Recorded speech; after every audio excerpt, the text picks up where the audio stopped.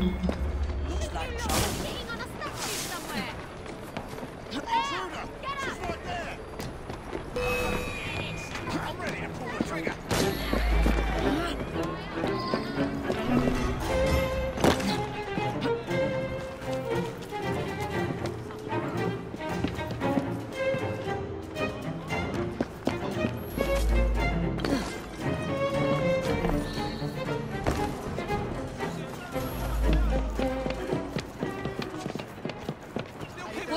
What's? Good on you. Already misguided the public hangings.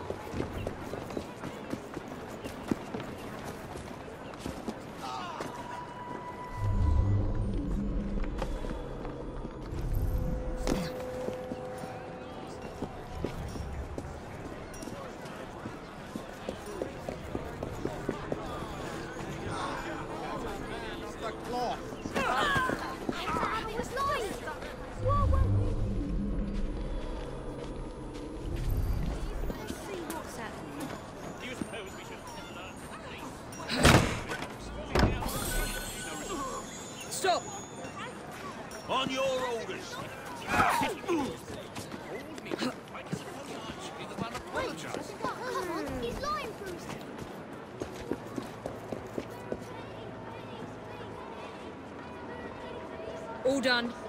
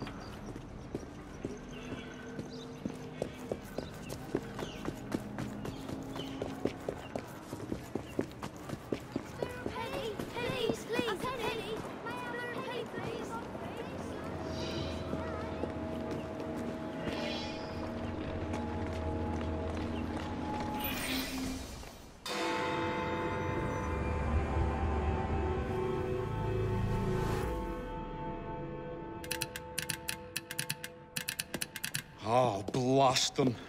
Alec, whatever is the matter? I have been intercepting nothing but poppycock propaganda about soothing syrup and whatnot. No, I swear to high heavens, if Starrick's monopoly continues... Alec, I beg your pardon. These are friends of mine. Evie Fry and her brother, Jacob. Oh, um...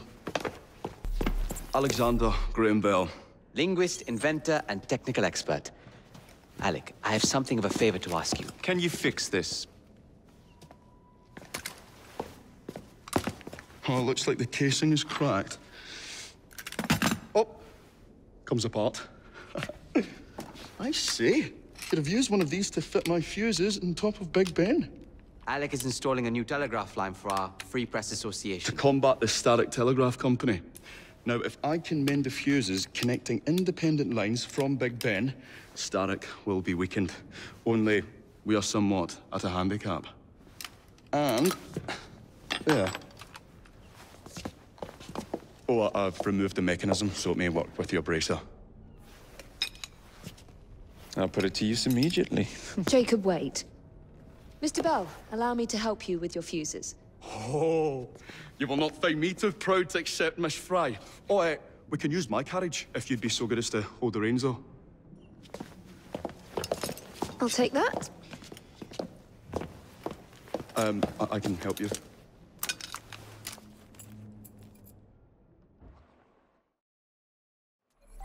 Miss Fry, I am so glad you could assist me. You really ought to be here by now.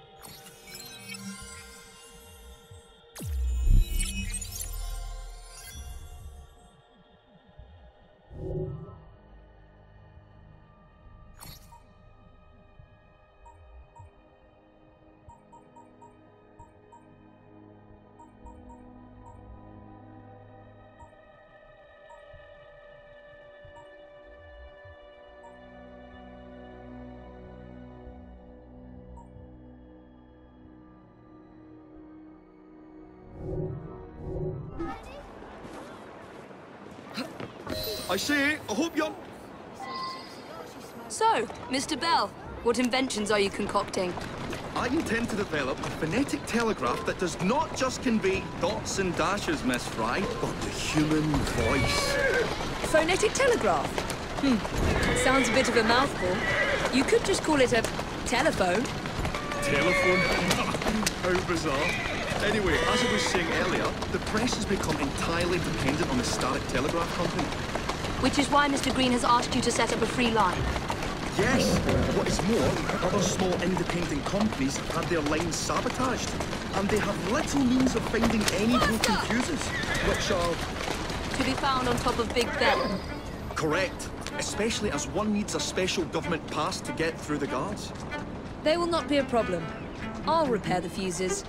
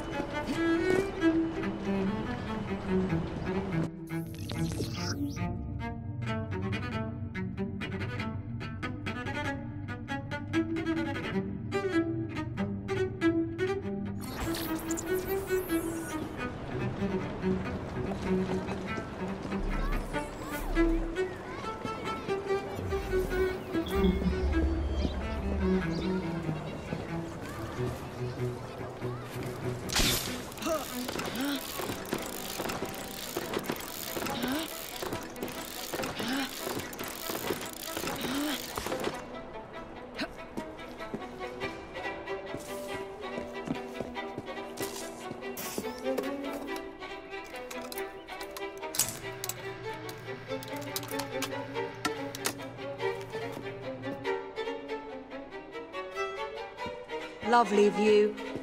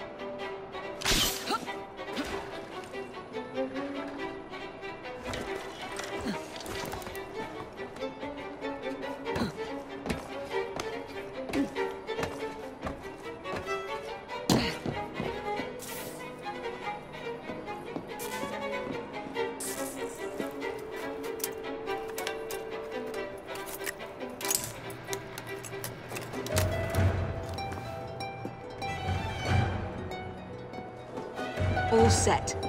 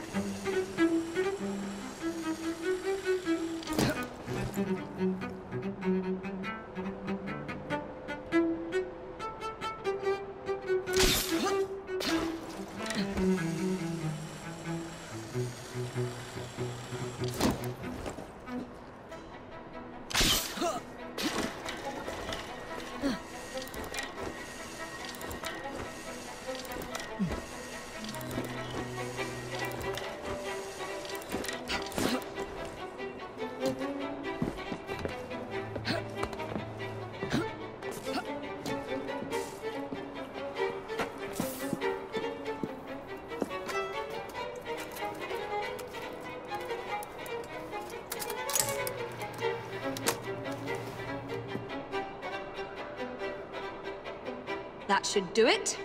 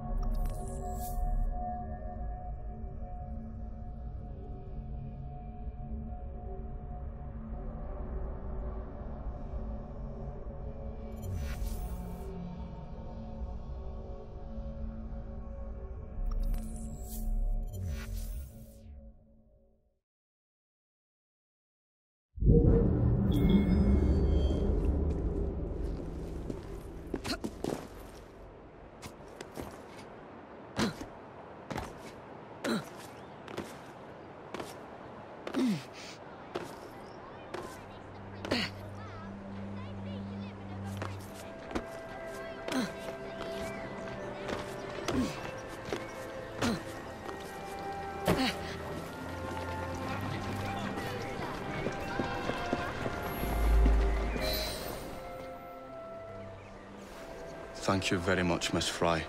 I will now be able to continue with the installation of the new line.